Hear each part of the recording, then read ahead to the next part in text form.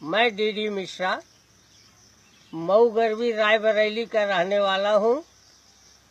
इस समय योगी सरकार के गोवंश की रक्षा हेतु जो अध्यादेश पारी हुआ है, पारित हुआ है, उसके तहत संपूर्ण किसान जिसके पास बछवा, बूढ़ी गायें और अनावश्यक जानवर जो हैं, वो छुट्टा छोड़ दिए हैं।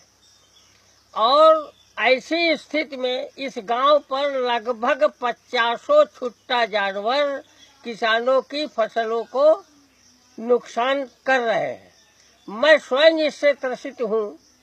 अपने जानवरों के लिए चारा की फ़सलें बोया था, रखवाली न कर पाने के नाते सारी फ़सल नष्ट हो गई अब धान की फ़सल पर, जो इस स्टेज में है, बाली निकल चुकी है, बाली निकल रही है, ये 25 25 30 30 के जत्थे में दिन में नहीं, अब ये रात में अटैक करके फ़सलों का नुकसान कर रहे हैं।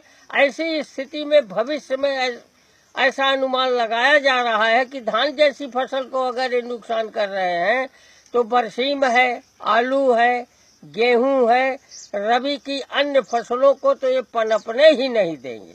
ऐसी स्थिति में, ऐसी स्थिति में सरकार को इस पर अतिशीघ्र कड़ा से कड़ा कदम उठाना चाहिए, अन्यथा गाँव में इतना आक्रोश फैला हुआ है कि आगामी चुनाव में चुनाव का बहिष्कार भी कर सकते हैं और बीजेपी को एक भी वोट देने के पक्ष में नहीं रहेंगे।